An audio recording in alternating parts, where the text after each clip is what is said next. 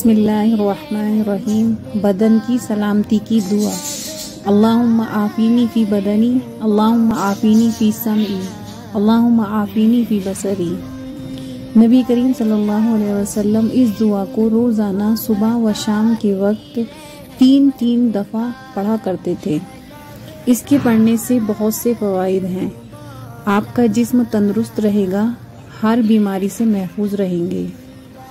और अगर इस दुआ को किसी मरीज़ के ऊपर तीन दफ़ा पढ़कर उसको पानी पर दम करके पिलाएँगे इनशाला उसे शिफा होगी। आमीन।